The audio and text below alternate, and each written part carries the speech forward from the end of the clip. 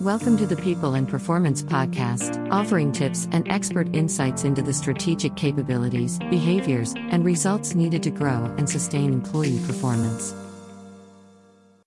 In this People and Performance Holiday special, we offer up a montage of some awesome answers from past guests to this question quote, In one minute or less, can you share one piece of advice or some direction you were given by a mentor, leader, or colleague that inspired you to perform at a higher level in your career? End quote. Had a lot of great answers to this, and we're excited to go forward with this. So, my name is Chris Bjorling, and I am your podcast co host and president of Fidello Inc. So, since we started this podcast a couple of years ago, we've asked all of our guests this question. As this season of giving, we thought we'd share this time with you in this collation of a bunch of the most impressive answers and share them with you bundled and gift wrap just for you during this holiday season. Bill Banham and I hope you enjoy the special edition and it offers you some inspiration for the year ahead. And if you do benefit from the episode, please remember to show that holiday spirit by liking, commenting, and subscribing to the pod. Our first answer comes from Tia Graham, founder of Arrive at Happy and author of the book Be a Happy Leader.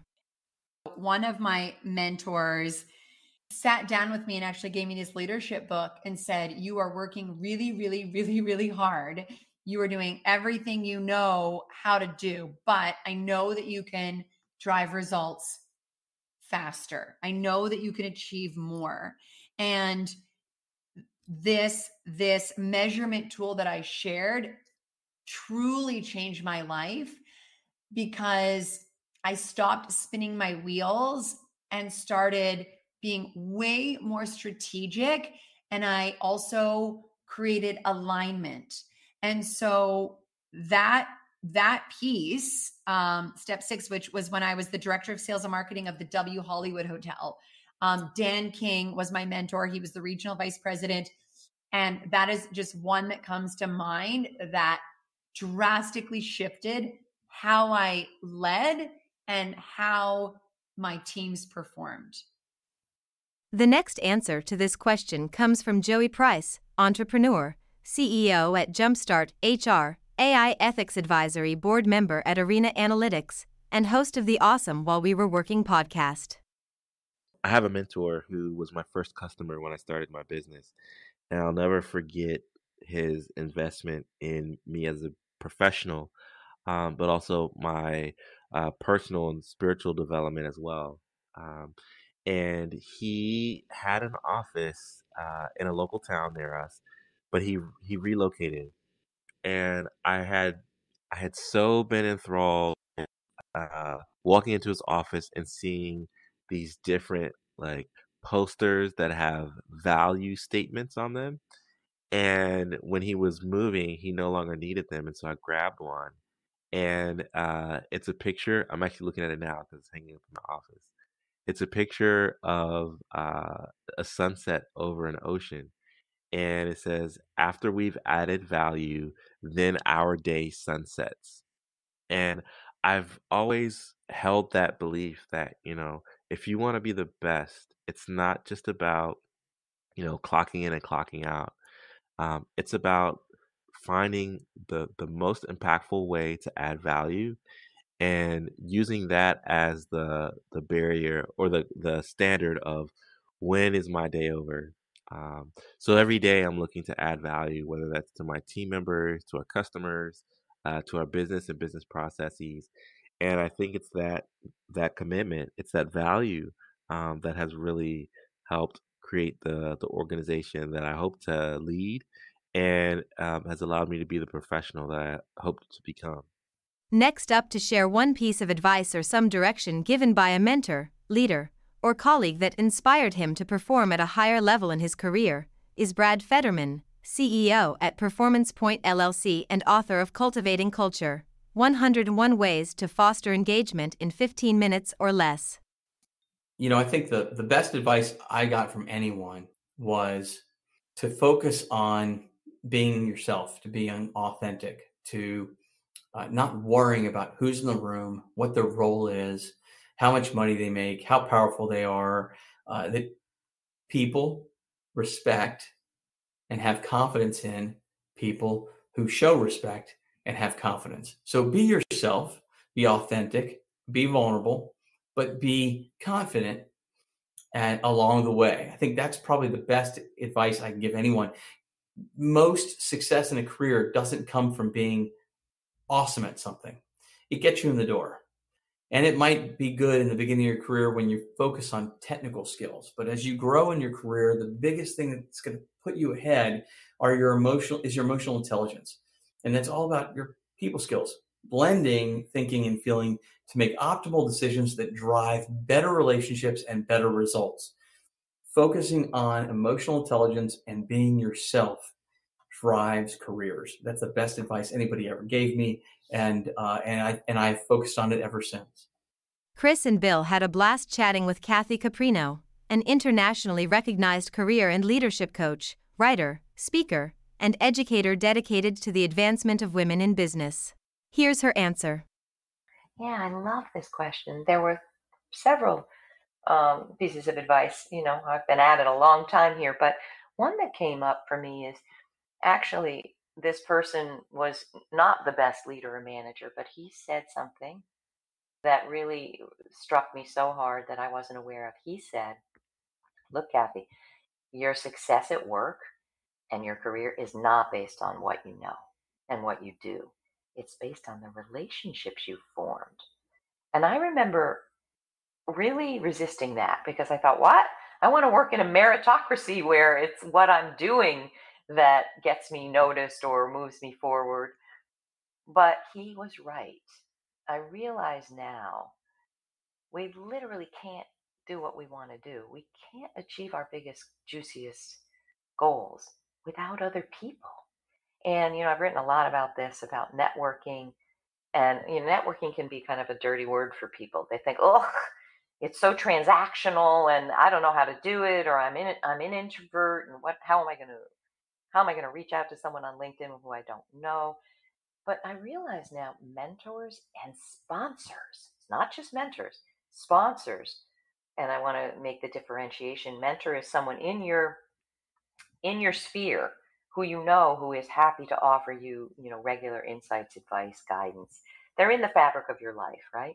But a sponsor is that plus they have clout and influence.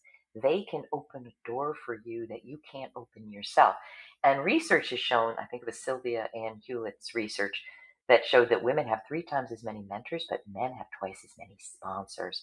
Sponsors have clout. And we need these people. We need a support community. When I look at everything that I've done that matters to me, other people helped me. So I would say start building your support community, a really robust community now. And you can start on LinkedIn. What a great place to do it. But you want people who are not just at your company. A lot of people tell me, I don't know anyone outside my company, IBM or GE, or they've been a place a long, long time. They should be inside your company, outside your company, and even in and outside your field. Start connecting with them. Uh, share a post of theirs. If you see something of mine, share it and tag the person and share your thought leadership. Wow, I really liked this piece because of this. It's time. It's time that you start building that network. In an episode called How to Build Success into Every Organizational Design, Karen Mangia, VP of Customer and Market Insights at Salesforce, offered the following I think about a life coach I've had since I was in university. And he is one of those people that somehow can stare into your soul and say to you uh, what you need to hear. And I was at a crossroads feeling some of the burnout that we're talking about here and imagining a different construct of work and life. And I felt so stuck, you know. And when I look at it now, it was between doing what I felt I should do versus what I wanted to do, what was in alignment with my values and my higher purpose. And he listened to me recount my struggle and feeling stuck. And I'll never forget what he said. He said, Hey, kid, this is not a dress rehearsal. You only get one life, And the question is, how do you want to live it? In late 2022, Kevin Oakes appeared on the podcast. Kevin is CEO and co founder of the Institute for Corporate Productivity, an authority on next practices in human capital. He is also the author of Culture Renovation. Here's Kevin's take on the question. Yeah, we um a, a long time ago I I uh, learned about uh, open book management and just the importance of transparency. And we as a company uh, have been emulating open book management from the beginning. Uh, and what that means, Bill, is uh, once a month uh, we get together as an organization and we go over all the financials of the company. Um, we've te- we've taught people um, what EBITDA means and net income, and look at a balance sheet. Uh, and we just want them to know how are we doing to plan, how, how are we doing versus last year, uh, et cetera. And then we go over all of our, our strategies, our product ideas, our research ideas, things that we're planning on going forward. I just find that to be an easier way um, to, to run a company, frankly, and, and just a more honest way to run it. Uh, everybody in my organization is an owner of the organization. They all have equity in the company. And so I want to treat them like owners. I want them to act like owners. Uh, and so that that's a learning I had from years and years ago, and just the way I love to operate in business in general. Next up is Whitney Johnson, CEO of Human Capital Consultancy, Disruption Advisors. Whitney and her team are experts at helping people grow their people to grow their organization. Whitney is the award winning author of Disrupt Yourself. Plus, she's a keynote speaker and a frequent lecturer for Harvard Business School's corporate learning. Here's Whitney's answer. Yeah, I'm gonna I'm gonna do two. So um, the first one is Marshall Goldsmith, um, who is one of the you know he's coached over 150 CEOs, hugely hugely in demand as a leadership coach, and he's been a wonderful um, mentor and influence for me. And he he said to me a couple of years ago, very simple, very tactical, as you would expect from Marshall Goldsmith, you're not charging enough. And that, um, I think that was really important and really valuable because when you say to someone you're not charging enough, there's all sorts of information in there of like, well, why aren't you charging enough? And if you're not chart, you know, what, what are the reasons behind that? And what do you need to do? Because sometimes it's just a tactical, you need to charge more, but sometimes there's, there's the question of, well, if you're not charging enough, what's going on in your head that you believe that you shouldn't be charging as much as this person is recommending. So that's the first piece of advice that comes to mind. And the second one is not dissimilar. Um, uh, Bob Proctor, who was a wonderful um, influence for the past few years of his life, where I was on a panel with him at Junior Achievement speaking, and afterwards he came up to me and said, You know, I think you're playing too small. You could play bigger, and I want to help you. And so those are two pieces of advice of you need to charge more and you're you could play bigger. Important important pieces of advice. And i think pretty much anybody who is being um you know in the human capital field um i think when we're willing to utter those words of you could be more you could play bigger you should charge more that's a gift that anybody who wants to develop human beings is is a wonderful gift to be able to give. Our final soundbite comes from jeff summers Managing Director at Genos North America. Together with Genos International, Genos North America supports Genos partners to make a real difference in organizations and in the lives of employees through emotional intelligence solutions that are game changing for business. Here's Jeff's take on the question.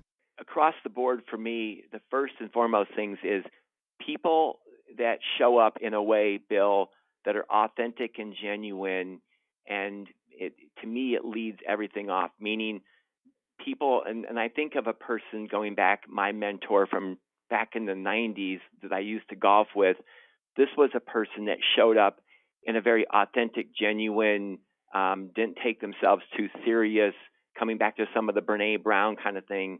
But i think truly for me as an individual those people that i connect most with are people that I can trust and feel comfortable being myself around them. And then things can take off. But I think that's the first step is really just being around people that are authentic and genuine and are real. And from there, it then opens the door to other types of things in the EI or any space of leadership. But I think for me, that's the first step is is people just being able to be themselves and allowing me to be myself as I show up around them.